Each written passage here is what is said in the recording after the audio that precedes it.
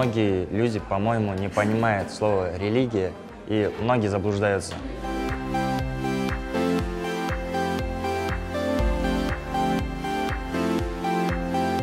Важно понимать, что когда человек подвергается экстремизму, то он закрывается в себе.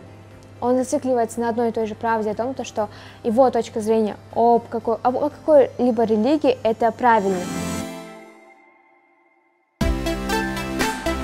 Если у вашего ребенка будет пространство свободное, он его всегда чем-нибудь заполнит.